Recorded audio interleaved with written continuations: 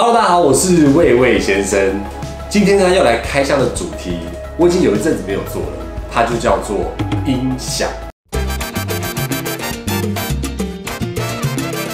我相信点进这支影片的人啊，一定稍微对音响或者是听音乐都有一点点兴趣。那我之前呢有开箱过两支影片，一支是专门讲 soundbar 的，然后另外一支啊是一个非常全套性的，就是非常完整的家庭剧院组。有兴趣的人都可以在我频道找到这两支影片。那我们今天要来讲的这一颗音响啊，是比较属于个人使用的，或者是在家里面使用的。而且讲到音响，你一定有听过一个品牌，它叫做。Harman Kardon 这个品牌啊，它是来自于美国的做家用音响还有车用音响的一个大厂品牌。但我们今天不是要讲车用音响哦，要讲的是这台令人非常惊艳的全指向性蓝牙无线喇叭，来自于利麦公司或平行输入的 Aura Studio 第三代。如果你现在对它没有什么印象的话，没有关系，我讲一个名字，你应该就会非常熟悉了。它就是大家耳熟能详的水母喇叭第三代，有没有听到这个名字？是不是有一点雏形出来的呢？好的，那接下来呢，我们就直接来做开箱吧。哦，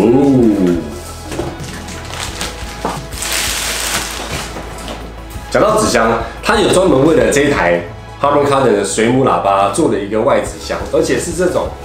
很厚的哦，就是非常有保护作用的外纸箱，来保护这台非常高级的喇叭。那在纸箱上面啊，我简单介绍一下，他们有就是自己的 Light 官方客服的 QR 码然后还有一个就是上网登录的两年保护的一个 QR 码。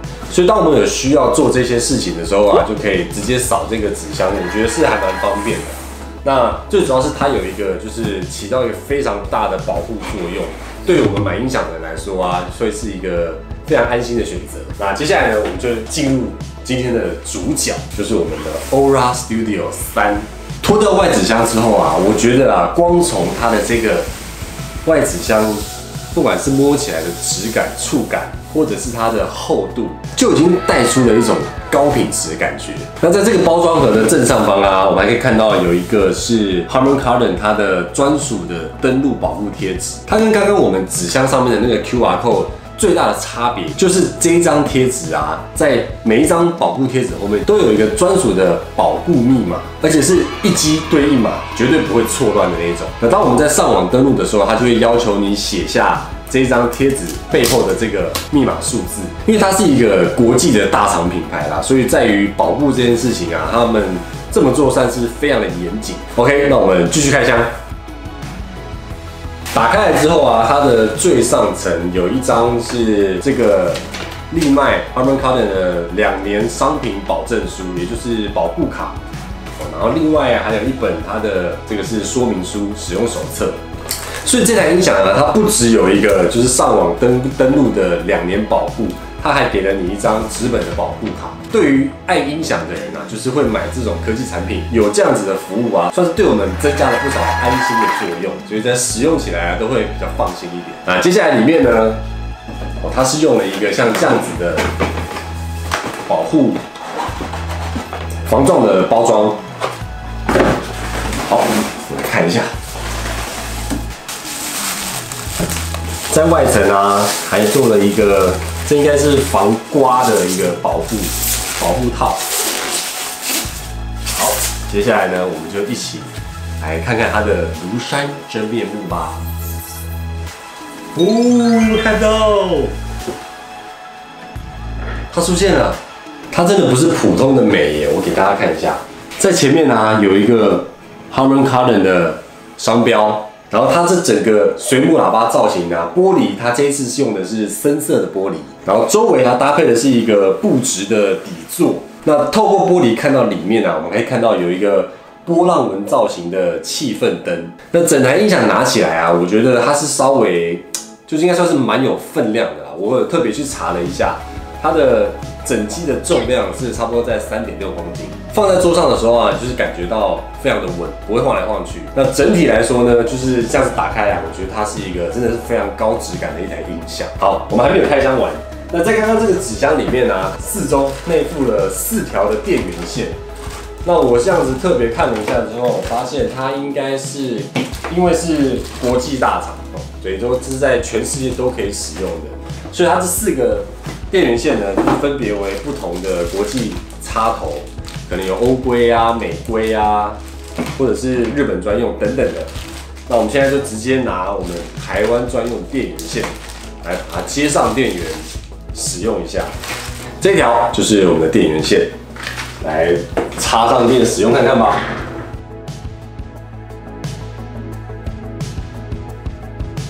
这一次 Aura Studio 第三代啊，它设计了内置变压器，这样的好处就是刚刚有没有注意到我们的那一条电源线，它是一条就是细细的电线，加上一个呃开关的电源的接口，中间没有任何的变压器或者是那种大颗的头。因为它已经把变压器直接内置到音响里面了，这样的好处啊，就是当我们今天在移动这台喇叭，或者是想要把线收纳起来，甚至是藏在边边的时候，都会方便非常多。那在电源的旁边呢，我们可以看到它只有一个三点五 mm 的音源孔，所以从外观看起来啊，它已经变得非常的简约。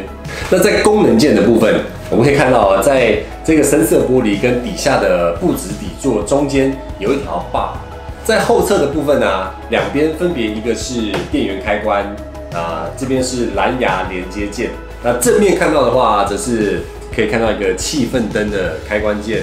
那左边跟右边呢，则是音量键的大声跟小声。这种很直觉式的操作界面啊，是我最喜欢使用的一种。那我们话不多说，直接来把它开机一下，按下开机键。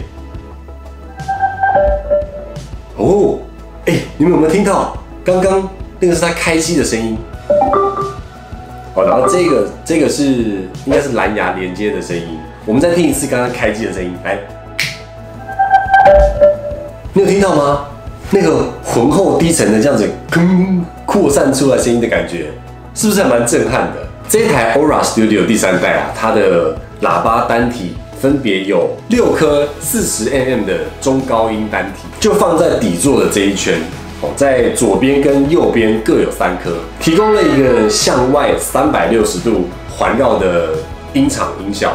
最底下，它也搭配了一颗五寸的重低音单体，光这一颗单体啊，它就有一百瓦的输出功率，是不是还蛮惊人的？像这样子功率大小的音响喇叭，它就非常适合拿来，呃，不管是听摇滚乐啊，或者是。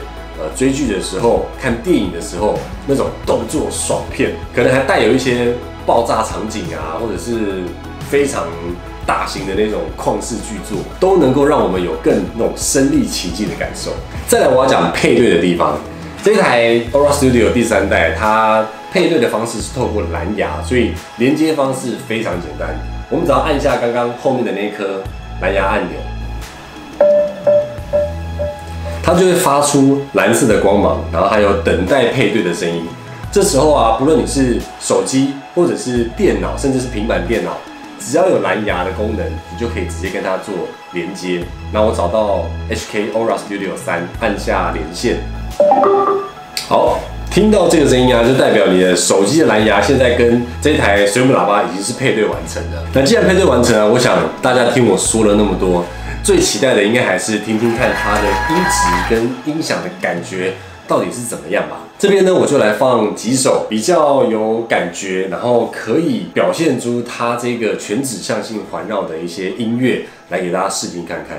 那大大家在听的时候啊，我还是建议啦，戴上耳机，因为有时候手机啊或者是电脑播放出来的声音会有点发散。那你如果通过耳机听的话呢，会更清楚，更有感觉。一起来听听看吧。慢慢喜欢你，慢慢的亲密，慢慢聊自己，慢慢和你走在一起，慢慢我想配合你，慢慢把我给你，慢慢喜欢你，慢慢的回忆，慢慢的陪你，慢慢的老去。那女孩对我说，说我保护她的梦。说这个世界对她这样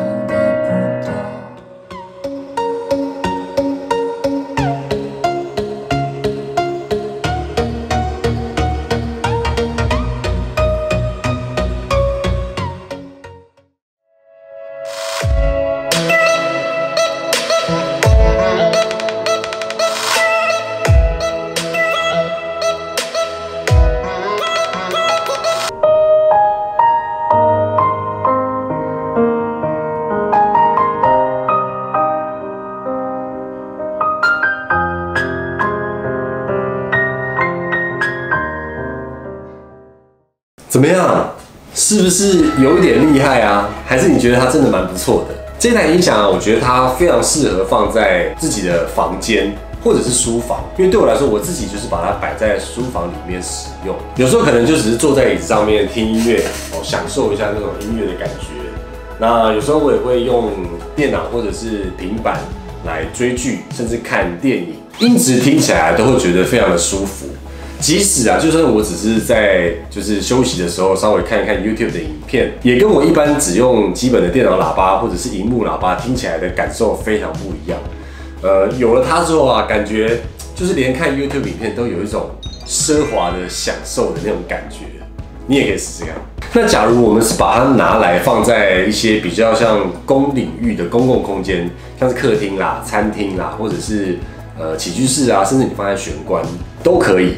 不过因为啊，它就是一个全指向性的三百六十度环绕音响，所以假如你们家有一个适合摆放的位置是在一个空间的正中央的话，你就能够去感受到它那种三百六十度全指向放出来声音的那种音场感觉。即使我们只是放一些可能轻音乐，或者是早上起来听的钢琴音乐，甚至是吃饭的时候聊天啊，会有一点点背景音乐那种感觉。透过这台 Aura Studio 三放出来啊，它就是能够给我们一种非常。就有在这种气氛里面，然后很 chill 的那种感觉。我相信只要是爱听音乐的朋友们，一定都会非常喜欢这一台水母喇叭。但很多人会选择水母喇叭，除了它的音质很好之外啊，其实还有一个理由，就是它的造型非常的独特，而且很有质感。所以在享受音乐的同时啊，你还可以有一些视觉享受。我看到一个自己很喜欢的东西放在家里面。你就是会很喜欢它，然后常常的使用它，我觉得这才是买音响的重点。总之啊，就是很推荐大家，不管你是要去店里面现场试听，或者是直接下单买回家就直接用都可以。我相信用起来你一定不会后悔。好的，那今天这台 Aura Studio 三水母喇叭的开箱分享介绍就到这边。如果对这台音响有兴趣的朋友，或者是你曾经也是水母喇叭的使用者、爱好者，我都非常欢迎你们可以在底下留言告诉我，不管是你的使用经验，还是使用之后的一些感想心得，都欢迎在底下留言。我非常喜欢跟大家讨论有关音响这一块部分的事情，只要是我知道的，一定会告诉大家。我也可以从大家的留言中学到不少东西，这是我非常引就的一块。那还没有在音响的，我会把它的相关链接都摆在底下的资讯栏。有兴趣的朋友啊，就欢迎参考看看吧。OK，那喜欢这支影片的话，请记得一定要帮我按赞、订阅、加分享。那我们就下次影片见喽，拜拜。